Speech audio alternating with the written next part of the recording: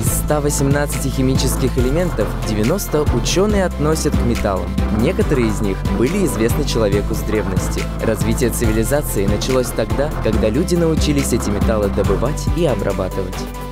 Быть современного человека без металлов невозможен. Они присутствуют во всех сферах жизни, а особая категория – это цветные металлы. Их крупнейший мировой производитель и поставщик – компания Норникель. Некоторыми из самых важных металлов я вас познакомлю в этом цикле. Родий – один из самых редких на Земле драгоценных металлов. Его свойства до конца до сих пор не изучены. Он содержится в никелевых и платиновых рудах. Предприятия Норникеля входят в пятерку мировых лидеров по его добыче.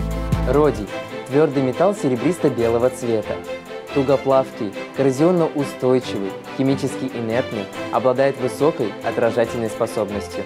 Львиная доля родия используется в автомобильной промышленности для создания нейтрализаторов выхлопных газов. В стекольном производстве из соединений родия делают сосуды для плавления стекломассы и получения тончайших стеклянных и кварцевых нитей. Родием покрывают технические зеркала, которые должны работать при очень высоких температурах. Родий – редкий металл, поэтому его применяют только там, где нет более дешевой альтернативы.